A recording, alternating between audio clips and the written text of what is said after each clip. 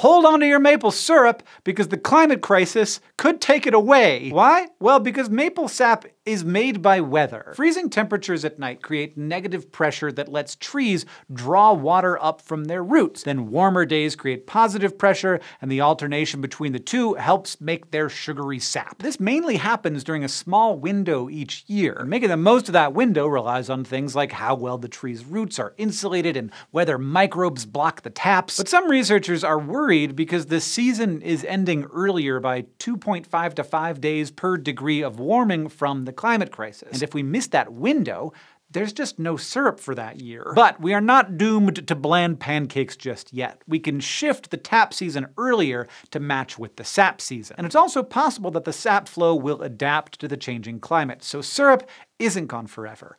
Yet.